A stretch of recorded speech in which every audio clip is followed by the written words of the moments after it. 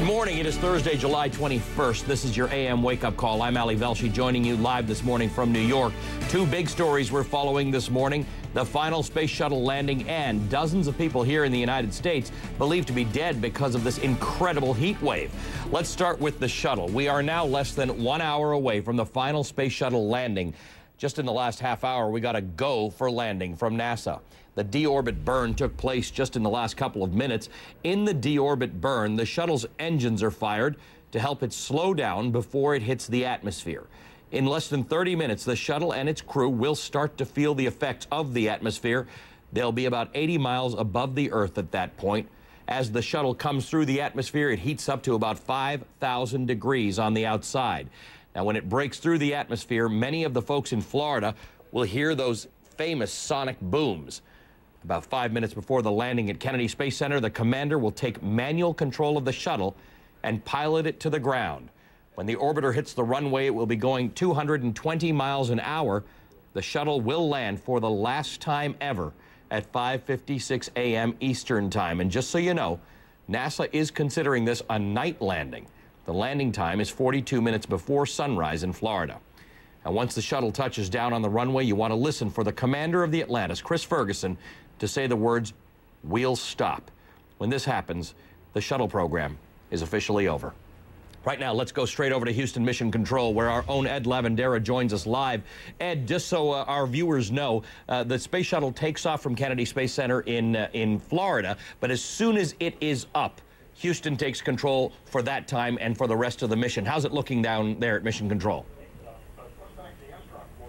Well, everything we've kept hearing all morning long is that everything is go- looking absolutely perfect, especially the weather. Uh, no complaints so far that that uh, uh, deorbital burn that you were just talking about. Everything there went smoothly as well. Look behind me. These are the, the men and women who have been working on this last uh, final shuttle mission, uh, Ali, and you, can tell uh, there are a lot of uh, emotional people in, in there. We've seen a, a, lot of smiles this morning, a lot of, several people with, with cameras taking pictures themselves. NASA has their, their photographers there inside as well, documenting these final moments. These are the men and women uh, who uh, are around the clock man, man the shuttle mission, make sure everything goes smoothly. Uh, if you look there in the middle uh, of the passage, there's a, a, man by the name of Tony Ceccacci. He is the flight director. He will be the man helping uh, bring the space shuttle down for this for this final moment. It was interesting. About an hour ago, they were going through some of the final checks to prepare for that deorbital burn, um, and he, he said, uh, "I can't believe uh, that this. Uh, I never thought that this moment would ever come." Kind of talking about the, the, the making the call for the final systems check. So you can, I think it speaks volumes to to what these men and women are experiencing here. There's a, a great number of people who filled up the, the visitor gallery just off to our side here, families of these flight directors who have worked so many uh, space shuttle missions. Uh, clearly an emotional moment. Remember, Houston here, Mission Control, this is the area where the astronauts live. This is where they train. This is where thousands and thousands of people who have worked on the space shuttle mission for 30 years uh, and, and, they're watching this moment closely. In fact, just outside of the Mission Control building, outside, uh, uh, uh many people gathering uh, that they're setting up a, a, viewing location to watch the, the, shuttle Atlantis come home. So you can imagine, Ali, that this is an extremely um, emotional moment uh, and and uh, everyone here hoping everything here goes smoothly within the, within the next hour. But uh, all of these people back here, you imagine after the shuttle lands, and we assume everything goes goes well. Everything so far looking looking very good, looking to go smoothly uh, that the, these people will have a, a, a, lot to say and a lot to feel based on everything that they've been through through the last 30 years. Ali? Ed, uh, within half an hour, we uh, about half an hour ago, we got word that it was go for landing, uh, which means it was beginning its final orbit, uh, probably the final orbit, the 200th orbit uh, of Earth. what what are the contingencies if it doesn't land at 556? Does it take another spin around and, and try and come back? Yeah, they have they have contingencies for for a lot of that and, and what might happen. But you know, I, I don't get any any sense here that any of that uh, is actually a concern at this point. We've heard repeatedly here this morning uh, that the weather is absolutely perfect, um, that everything, all all the all the uh, machinery, uh, everything on on board the space shuttle is is is working perfectly. So any other contingency plans, I'd be shocked if we go to uh, at, at, this point. So everything seems to be uh, clear to for the space shuttle to land here within the hour. All right, uh, Ed, thanks very much for that. We will be staying with you uh, through the course of the hour. We're watching this very, very closely. As we said, the Space Shuttle Atlantis now on its final orbit of Earth. It's got to go for landing. The landing is expected uh, in the next 50 minutes. We'll stay with it very closely. Big story this morning. Atlantis is heading home. Right now, it is flying over the Pacific Ocean.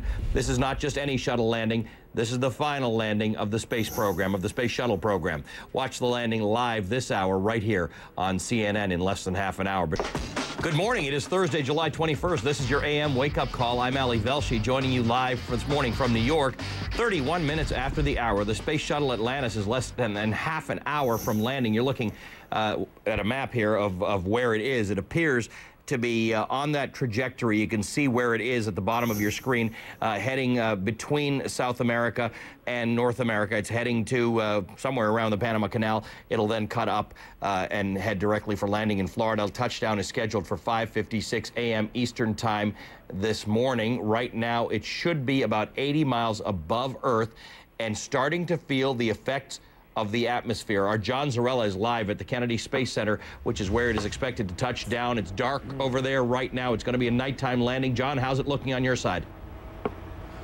Well, it's great, Ali, as far as the weather goes. Absolutely couldn't ask for uh, better conditions. As you mentioned, uh, Atlantis now on uh, on the last leg, coming home. The last time a space shuttle uh, will come back uh, and land. Uh, this is it, the, the last flight in the 30-year history of the shuttle program. It's going to come over the, the Yucatan, as you mentioned. It'll cross the United States at Naples, Florida, before landing here at the Kennedy Space Center. You know, a couple of months ago, I had an opportunity to sit down with Commander uh, Chris Ferguson, uh, eh, who is, of course, uh, at the controls of Atlantis right now. And Ferguson talked about what he thought it would be like when he made this historic landing. We want to make sure we get the job done. Uh, and when the job is done, we can look back and reflect and think about where the place in history lied for this final shuttle flight. You know, Ferguson uh, added that uh, he was bound and determined that he was going to be the last person out of the vehicle. And of course, later today, Ali, after Atlantis comes home, there's going to be a ceremony out here on the runway. And then a little bit later in the morning, there will be a ceremony back over at the uh, orbiter processing facility, as they call it, where thousands of workers will be allowed to gather uh, and uh, see the, uh, the vehicle for the last time. And you know, Ali, more than 2,000 workers are actually going to be laid off tomorrow day after Atlantis, uh, Atlantis lands. So pretty bittersweet times here.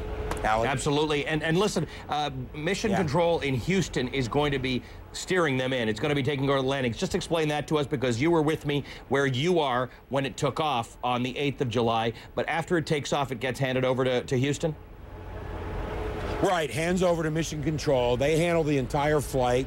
They handle it until it's back here on the ground. And you may hear some noise behind me. There's a whole convoy of vehicles here waiting to go out and meet the vehicle. Uh, and as soon as its wheels stop on the ground here, uh, then it's turned back over to the folks here at the Kennedy Space Center. But you're right. As soon as it cleared the tower on liftoff, it was handed off to Mission Control in Houston, and they have commanded the entire flight until this point when it comes back and lands here. And as you mentioned, uh, it's re-entered the Earth's atmosphere now, going through that maximum heating now on those tiles, on that thermal protection system, several thousand degrees uh, they are feeling right now as they're coming through the atmosphere. And this will be this will happen for the next uh, couple minutes or so. Then they'll they'll finish peak heating, yeah. Uh, and then they're going to they're going to come in. You'll hear those sonic booms over Florida just moments, uh, about three or four minutes yeah. before it lands. Is that how it goes? Yeah, you'll hear twin sonic booms, and it's interesting because the first sonic boom is created by the shock wave off of the nose of the vehicle, and then that second shock wave is actually created off the tail of the orbiter. So kind of an interesting right. fact, but that's why we have the double sonic boom. All right, John, we'll check in with you just a little bit. John Zarrella uh, in uh, in Florida.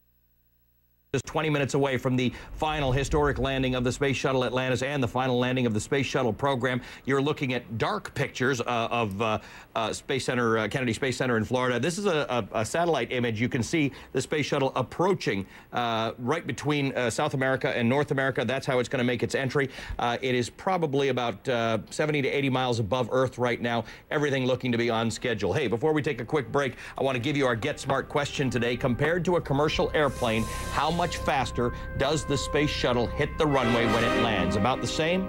Five times faster? Or 20 times faster? I'll give you the answer on the other side. It's 37 minutes after the hour.